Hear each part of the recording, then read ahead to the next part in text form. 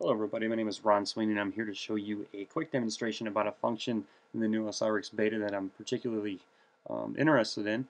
It is the uh, federated DICOM query and retrieve which allows you to query multiple DICOM archives for the same search terms. To um, exemplify how I'm going to show you this, I have three different archives running here on my machine. I have one uh, dcm4chee running locally here on my Mac. I have an Ubuntu box running the same archive uh, within Parallels on, on this box, and I also have a Windows 2003 box running the same archive. I have three different archives running on this machine. So to show you the patients that are in this archive, the first one is uh, the Windows box, which has a patient called Artifix in it. The second one is the Ubuntu box, which has a patient called Enterix in it.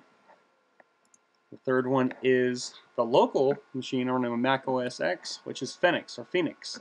Um, so I've got three different archives with three different patients, and if you pay attention, you'll see that they all have the suffix of IX, which takes me over to my Osirix application. Now I'm in Osirix, and I want to do a DICOM query and retrieve. You see the new DICOM query and retrieve dialog come up.